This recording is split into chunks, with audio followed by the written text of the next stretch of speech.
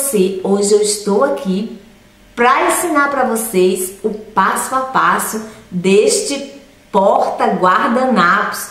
Gente, olha que luxo! Isso aqui realmente era algo que eu ia jogar fora e eu transformei do lixo ao luxo. E esse é mais um projeto de colaborações entre eu e vários amigos youtubers e eu quero desde já te convidar aí aqui embaixo no box de informações conhecer todos os canais dos meus amigos youtubers que também transformaram algo do lixo ao luxo, tá? Desde já quero te agradecer a você que está chegando aqui pela primeira vez e não me conhece. Meu nome é Marlinda, eu moro aqui na Itália, faço vídeos de rotina e também dou essas diquinhas de vez em quando aqui no canal, tá? Se você não é inscrito, te convido a se inscrever aqui no canal e a dar aquele like aqui nesse vídeo e te agradeço desde já, muito obrigada e vamos lá ao passo a passo deste porta guardanapos. Vem comigo! Nessa primeira parte, nós vamos usar um rolo de papel toalha, uma régua, um estilete e um lápis. Então, você vai pegar o seu rolinho e vai, com uma régua, medi-lo no total. Depois que você medir o total, você vai pegar e dividir por seis partes, que eram as que eu queria fazer os rolinhos. E aí, com o lápis, eu marquei todos em partes iguais e fui marcando de um por um até formar esses círculos. Depois eu peguei o estilete e fui cortando com bastante cuidado para não sair da linha. Todos para ficar com a mesma medida. Muito cuidado na hora de cortar. E aí depois que eu terminei, eu olhei se eles estavam todos iguais.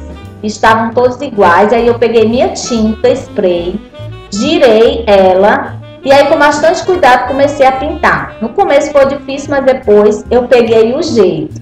E aí, eu deixei secar esses rolinhos e eu dei duas demãos. Depois, eu peguei esses adesivos que eu comprei e essas flores para colocar. É, os, os, rolinhos ficaram bem sequinhos e bem bonitinhos. Então, aí eu peguei, tirei a, o adesivo com bastante cuidado, comecei a colar na lateral dos rolinhos. É, era pouco, então eu continuei de onde terminei e até aonde deu. Quando terminei, eu recortei a partezinha que faltava e assim eu fiz em cada rolinho, sempre com bastante cuidado. Depois peguei a cola e colei a rosinha, né, no meio. Fiz isso em todos os seis rolinhos e olha o resultado como ficou lindo. Quero deixar para vocês essas três opções aqui de mesa posta com os nossos porta-guardanapos. Olha que linda essa daqui. Eu usei um guardanapo de papel, é, mas não perdeu a elegância. Olha como ficou linda. Que também é outra opção que eu quero deixar para vocês. Olha como ficou linda também. Usei guardanapo de papel. E você pode variar a cor, você pode colocar de acordo com a sua decoração. Eu achei essa opção lindíssima. Terminar essa última opção aqui, que é o guardanapo de tecido mesmo, bem mais elegante, comum, né, que você vê com mais nos restaurantes ou em alguma festa que você faz. Eu coloquei um prato diferente porque eu quis demonstrar um pouco mais de elegância. Eu espero que vocês tenham gostado.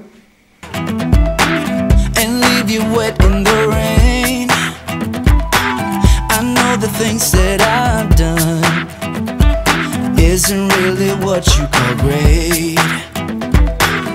This is the part where you cry, cry. Cause you won't see.